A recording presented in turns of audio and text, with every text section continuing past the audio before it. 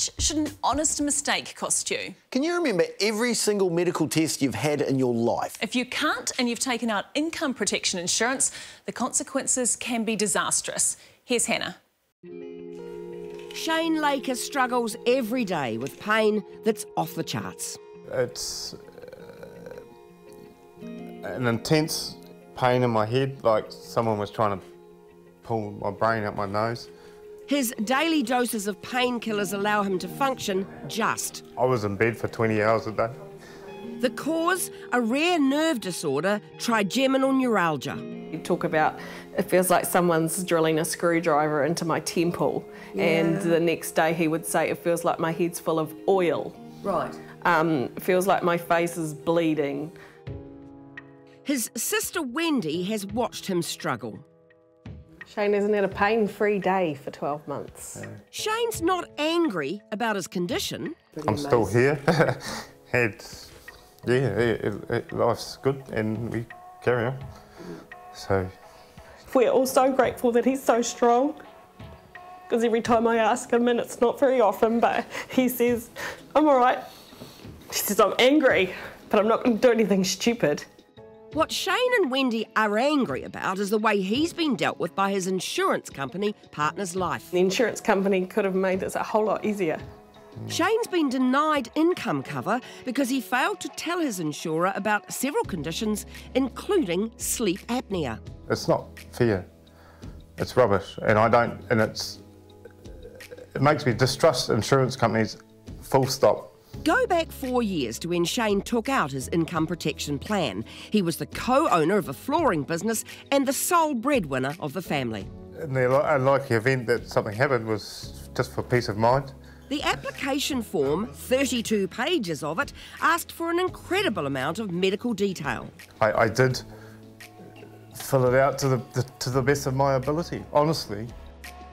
Then Shane became ill. At first, his symptoms were a mystery.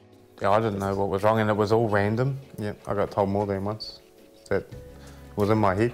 It took some months to get a diagnosis. Shane's had one surgery to try and ease the pain. He needs a further two. I'm scheduled for a surgery in my spine soon.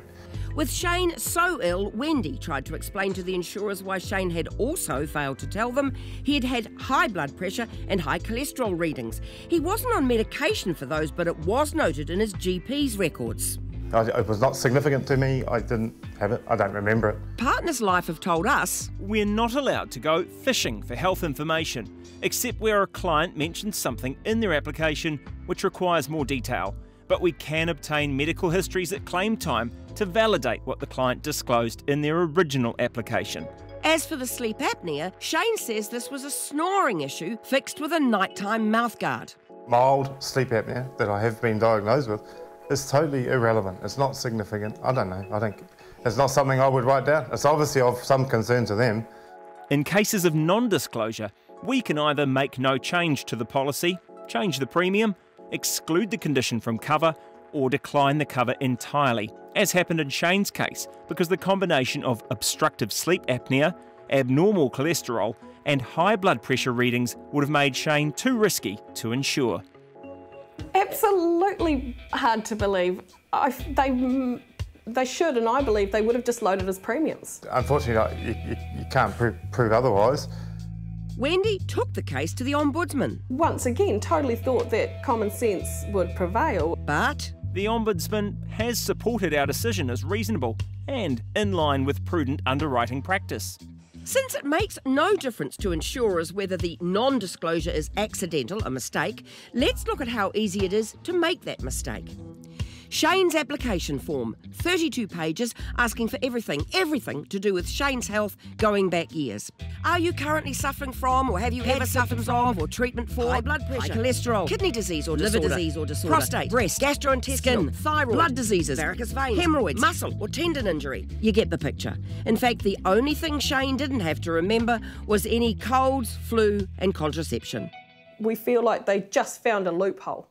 But the insurers say the application form is in plain English with short, easy to understand questions, and it's information any client could be reasonably expected to know. We can't allow clients to get payouts they're not entitled to, so we can't accept I forgot or I didn't think it was important as valid reasons for non disclosure. Unable to work, Shane has now been forced to sell his business, and with the help of his son Reese and daughter Renee, he's packing up his household goods and selling the family home. The, the fact that we've had no income um, s- certainly doesn't help. You get a hot one for the curry. We need something with a bit. All this has left Shane high and dry, but he's somehow remained amazingly stoic. I'm really hoping that uh, well, I'm just going to continue to get better and better. And I mean, it's it is what it is, and and it's there's a whole lot of people a, a whole lot worse. It's, These two want change. They want the insurance companies to investigate the medical records at application time, and then they can decide what's important and what isn't. I have no problem at all to give them access to my records and to pay a, a, a fair and reflective premium. That's fine. Not this rubbish. They want to share what have been pretty hard lessons. It must be happening to other New Zealanders as we speak. And if they're not young enough to fight or they don't have the support, God knows how they would cope. Hmm. It's hideous. I'm fortunate to, to be here and be able to talk about it and do something about it. For me, this is a positive oh, step. Thank you. Gosh, that's an amazing family, isn't it, given everything that they are dealing with? Look, next week we talk to Consumer Affairs Minister Chris Faafoi. He is keen to see the very law changes Shane and Wendy are asking for. And if you've had a similar experience with being denied insurance, we are very keen to hear from you.